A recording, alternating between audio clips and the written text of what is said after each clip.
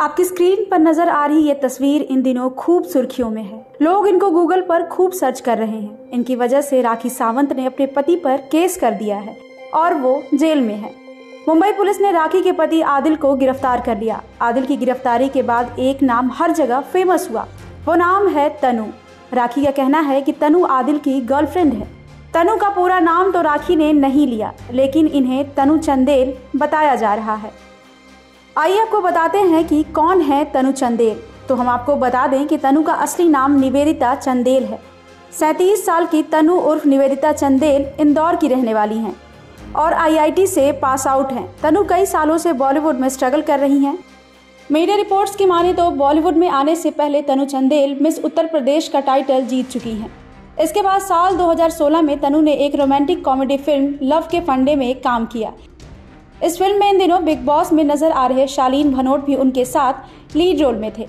लेकिन इस फ़िल्म के बाद भी तनु को कोई नहीं जानता। अचानक राखी की वजह से तनु का नाम मीडिया की सुर्खियों में है।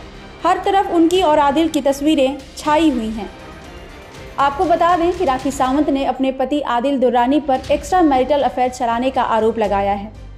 उनका कहना है कि तनु आदिल की गर्लफ्रेंड है। जब वो बिग बॉस मराठी में थी तो उनका ये अफेयर शुरू हुआ था। जब वो बिग बॉस से बाहर आई तो उन्होंने अपने पति को काफ़ी समझाया कि अपनी गर्लफ्रेंड को छोड़ दो, लेकिन उन्होंने उनकी बात नहीं मानी। इसके बाद राखी ने अपने पति पर मारपीट और गहने चोरी करने का आरोप लगाकर पुलिस में केस दर्ज कराया और इस दौरान उन्होंने तनु का नाम लिया। राखी सावंत ने जैसे ही तनु का नाम लिया तो वो तुरंत सर्च होने लगी। इसके बाद ढेर सारी आदिल और तनु की तस्वीरें भी वायरल होने लगी। इन तस्वीरों में आदिल और तनु की नजदीकियाँ देखी जा सकती हैं। वहीं राखी सावंत ने यह भी कहा कि तनु ने उन्हें फ़ोन किया था। इसके अलावा राखी ने कई बार आदिल की बॉडी पर लव बाइट्स भी देखे हैं।